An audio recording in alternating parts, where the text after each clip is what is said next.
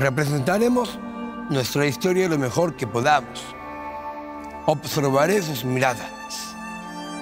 Si se estremecen, será porque la culpa los agita. O quizás sea porque logramos disolver el velo de la ignorancia que hoy cubre sus ojos.